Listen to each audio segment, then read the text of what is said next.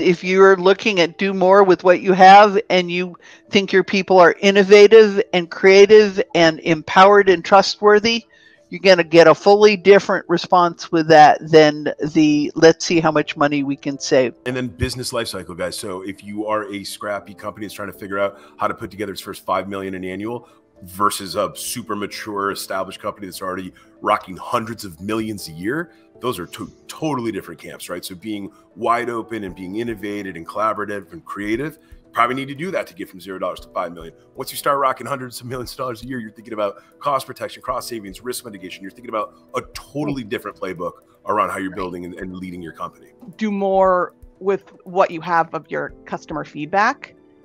And reusing that. So reuse the content, repurpose it, make an ask once from a customer for feedback, interview, and use it five different ways. Put it on social, put it into a blog, do an interview, record a podcast, all of it.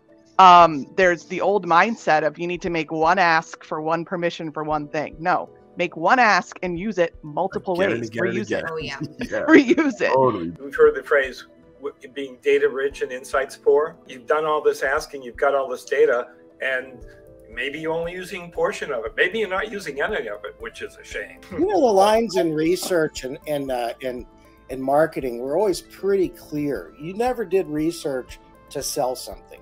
Okay, in the past, there was clear demarcation. Associations outlining it. I mean, basically, it was called sugging. You know, selling under the guise research, right? So now those lines are blurred. Screw that playbook.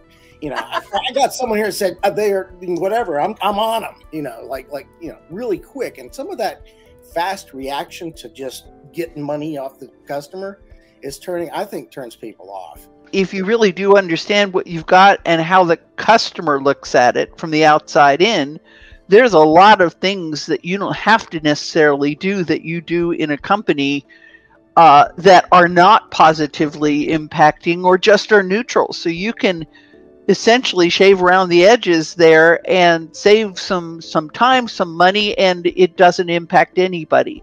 The bottom of the iceberg never gets trimmed. It's always uh, those poor salespeople. the, the dynamics between a relationship with a company is much more complex because you know it's not just a customer and a company and you know however you want to define the company but there's these employees that are factored into it. And all three of them are battling um, for their own personal gain. I mean let's face it you don't have loyalty to a grocery store because oh well their their their logo is awesome. No your loyalty is because you feel you're getting something out of that relationship and you know same thing goes with the employees and goes with you know the leadership of that organization the people that invest in that company to bring that service to you. Everyone feels like they need to be able to get something out of it.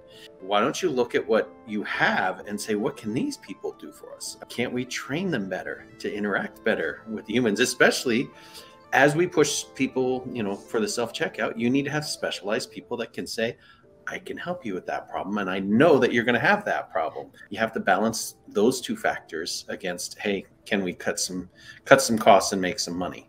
and the hiring thing is so important fast food experience yeah, it's probably the worst place to work right chick-fil-a experience versus i don't know burger king focused on helping the customer have a good Mhm. experience versus let's just sell this stuff knowing what the brand promises. You know, people who are down in the front facing organizations sometimes have no idea about what the company is attempting to do or stand for and and how are they be able to articulate that Yep.